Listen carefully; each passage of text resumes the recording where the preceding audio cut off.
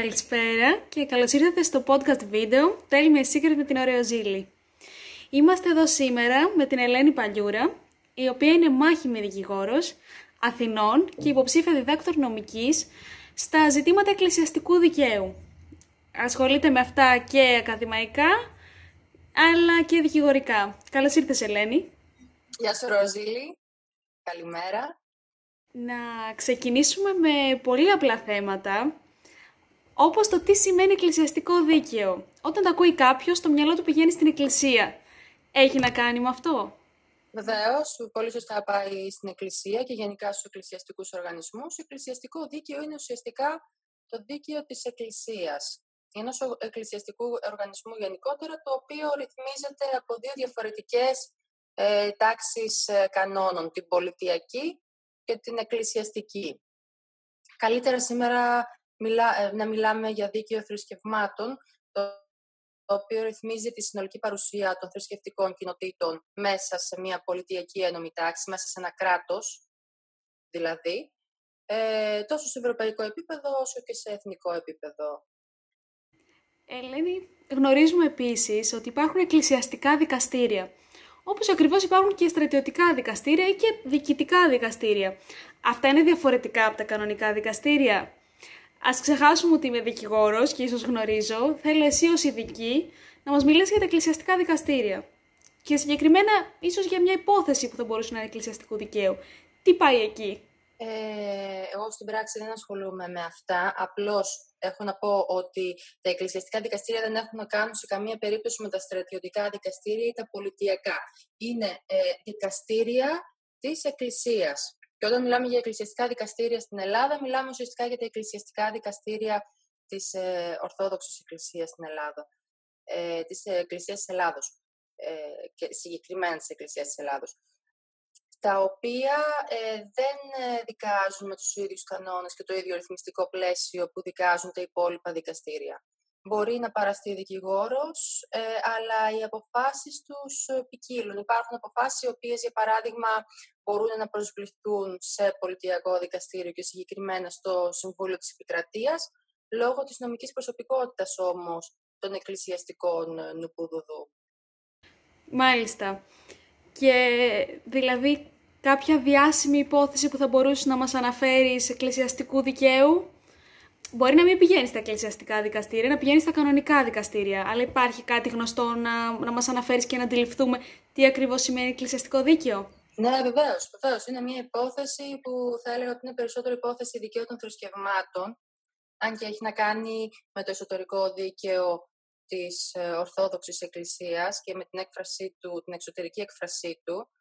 Ε, είναι υπόθεση ενός μοναχού ο οποίος είχε τη δικηγορική ιδιότητα στην Κύπρο, ήθελε να τη λάβει και στην Ελλάδα. Ο Δικηγορικός Σύλλογος Αθηνών αρνήθηκε, απέρριψε την αίτησή του.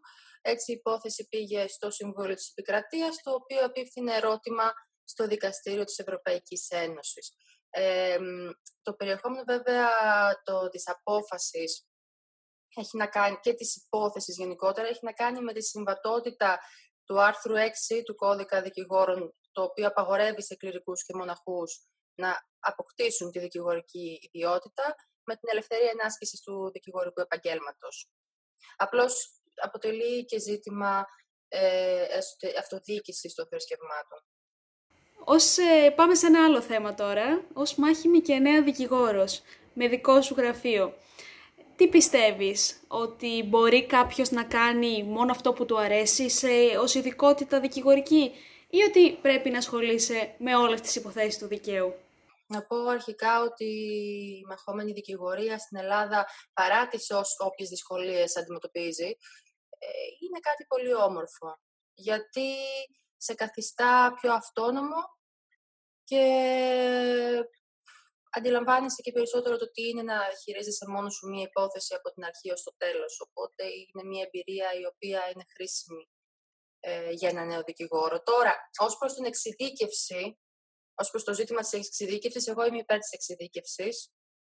Είτε κάποιος ασχολείται με το εκκλησιαστικό δίκαιο, είτε ασχολείται με το ναυτικό δίκαιο, είτε με το ποινικό δίκαιο, γιατί ε, σίγουρα είσαι πιο καταρτισμένος σε έναν ή σε δύο κλάδους του δικαίου. Δεν μπορείς να είσαι το ίδιο καταρτισμένος σε όλο το φάσμα ε, του δικαίου, σε όλους τους κλάδους του δικαίου. Βέβαια, ε, δεν, όταν ε, έχεις ένα γραφείο μόνος σου ή σε συστέγαση ε, ή ε, σε συνεργασία με άλλους συναδέλφους, ε, όπως είναι και η δική μου περίπτωση, ε, δεν μπορείς να ασχολείσαι μόνο με ένα αντικείμενο. Και δεν είναι και καλό, κατά τη γνώμη μου, να ασχολείσαι μόνο με ένα αντικείμενο, γιατί ε, οι κλάδοι του δικαίου είναι συνδεδεμένοι μεταξύ τους. Δηλαδή, δεν μπορείς να κάνεις μόνο εκκλησιαστικό δίκαιο και να είσαι καλός σε αυτό, εκτός αν έχεις κάποια χρόνια πίσω, πίσω σου μαχόμενης δικηγορίας, γενικής δικηγορίας δηλαδή. Ε, γιατί πρέπει να έχεις και μια γενικότερη γνώση και μια, σφαιρικό, μια σφαιρική εικόνα της δικαστηριακής ε, πρακτικής. Ε, βέβαια, ε, δεν μπορείς και σε όλη σου τη ζωή, κατά τη γνώμη μου, να κάνεις ε, γενική δικηγορία και να την κάνεις το ίδιο καλά σε όλες τις υποθέσεις. Αυτό. Είναι θέμα επιλογής νομίζω η εξειδίκευση ή μη στη δικηγορία, όπως και στα περισσότερα επαγγέλματα τα οποία λαμβάνουν εξειδίκευση. Ναι, και γενικά ό,τι τον ευχαριστεί το καθένα. Το θέμα είναι να είμαστε ευχαριστημένοι με τη δουλειά μας και να την κάνουμε καλά. Κάποιος μπορεί να, μπορεί να μανατζάρει πέντε διαφορετικές ε, υποθέσεις ε, το μήνα. Κάποιος μπορεί όχι. Έχει να κάνει με τον άνθρωπο. Και τώρα, μήπως θα ήθελες να μας πεις ένα μυστικό σου ως προς το εκκλησιαστικό δίκαιο; Γιατί όπως γνωρίζεις, εδώ λέμε μυστικά και θα θέλαμε να μοιραστείς μαζί μας ένα. Δεν θέλω να σας πω ένα μυστικό, θέλω να σας πω δύο μυστικά. Ε, λοιπόν, το πρώτο είναι ότι το εκκλησιαστικό δίκαιο είναι ένας πολύ ενδιαφέρον κλάδος του δικαίου. Είναι ένας κλάδος εξειδικευμένος, ε, ο οποίος χρειάζεται, απαιτεί βασικά, δεν χρειάζεται απλώς, ε, σφαιρική γνώση του δικαίου ε, και γενικότερες γνώσεις ε, κοινωνιολογίας ή θε, θεολογίας. Γιατί ε, όταν μιλάς, όταν γράφεις, όταν ασχολείσαι με τη λειτουργία και την ύπαρξη μιας θρησκευτικής κοινότητας στο κράτος, πρέπει να έχεις και επαφή με την πραγματικότητα της λειτουργίας της. Αυτό είναι το πρώτο. Το δεύτερο, το δεύτερο θα είναι πολύ κλεισέ, αλλά το εννοώ και περισσότερο από το πρώτο, να σου πω την αλήθεια, ωραίο Ζήλη.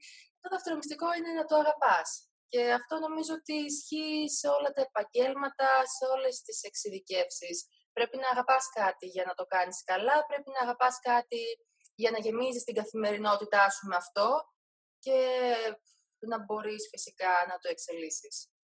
Είναι όταν ε, είμαστε συνδεδεμένοι με το αντικείμενο με το οποίο ασχολούμαστε, όπως πούμε η Εκκλησία όταν ασχολούμαστε με εκκλησιαστικό δίκαιο και το αγαπάμε και παράλληλα έχουμε τη συνταγή της επιτυχίας. Σε ευχαριστούμε πάρα πολύ που ήρθες και θα μιλάμε. Είναι Ροζίλ, καλή επιτυχία και στα επόμενα. Ευχαριστώ. Καλή συνέχεια.